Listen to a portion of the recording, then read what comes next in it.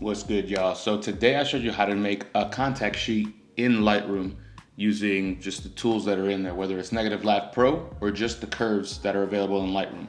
And those curves, just so you know, those are available in all kinds of programs, whether it's Photoshop or some third party kind of random program that allows you to mess around with photos.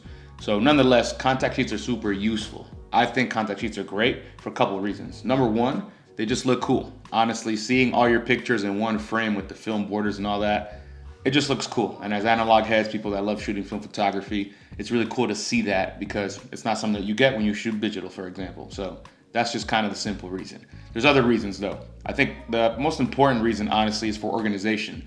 So if you're cataloging all of your scans and you know you have different folders with all your images, sometimes it can be tough to dig through all that and find what you're looking for. So what I typically do is for every single roll of film that I shoot, I'll create a contact sheet and I'll drop that contact sheet into the archival folder as well. So not only do I have all my scans of all the images that I actually got, but then I'll have one kind of JPEG that is the contact sheet itself.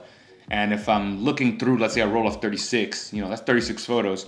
Instead of looking at the roll of 36, you can kind of just go on the contact sheet, zoom in and scroll around and you can find what you're looking for, perhaps a bit faster. Um, might be different for other people. Maybe other people label their images with names and all that kind of stuff. I don't. So all I have is the date and film stock and the camera that I was taken with. So it's nice to have the contact sheet to kind of just quickly scan all the images at once and very quickly identify what you're looking for. And that's pretty useful. Um, in the darkroom, contact sheets are also very useful, but I don't make contact sheets in the darkroom that often because I don't really, you know, I'd rather be printing individual images and color printing does take time. So I usually invest my time in actually in making individual images as opposed to making the contact sheets. I also don't have the proper holder for the negatives and my film sleeves aren't those plastic transparent ones. I use the wax paper ones. So I can't just put them down on top of a sheet of darkroom paper and make a contact sheet. So, you know, that's why I don't do it in the darkroom, but it's super easy as I just showed you. And it's really cool to show that off as well. On Instagram, for example, I've been posting a lot of my images with contact sheets. And I think people really like that. People really like seeing it. And I made a quick reel about how to make digital contact sheets and it kind of went crazy. So I figured I'd make a video about it because there's probably people on here that don't follow me on Instagram and want to know how to make contact sheets. So go ahead and give it a try. Like I said, you don't need Negative Lab Pro. Obviously, that makes it significantly easier. Easier, but you saw how quickly I was able to actually get a really good looking positive image by just playing with the curves. You set your white balance first based on the film border, and then you go ahead and invert your main curve, your tone curve, and that'll give you a positive image. And then you just kind of go into the individual color curves and pull those in either direction um, to basically finesse the color that you're looking for in your image. With contact sheets, of course, you're doing the, the edits on the entire contact sheet.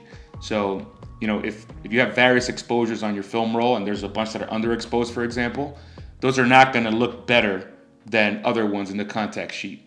You basically have to pick one image and use that as your frame of reference. So I would say pick your image that is best exposed and go with that. And then that'll actually let you know pretty quickly if other images are overexposed or underexposed.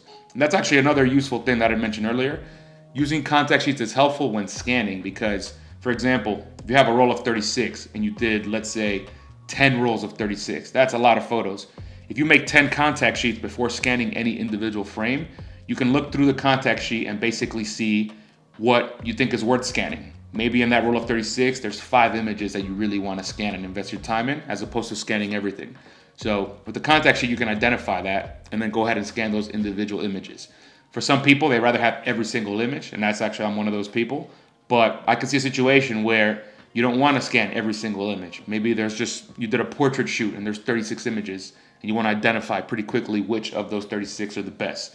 Make a contact sheet, identify that, and then go in and scan each individual photo that you think is great, and you can really dedicate a lot of time and effort into that specifically. So contact sheets are useful. They're not just for aesthetics.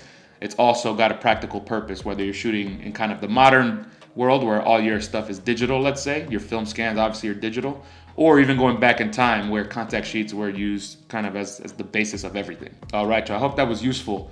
Um, definitely give it a try. I think you're gonna fall in love with your contact sheets when you make them. So let me know in the comments if you think this is worth the time. And if you have some experience or any additional tips for people making contact sheets, definitely drop them below. All right, y'all, to the next video. I'm out.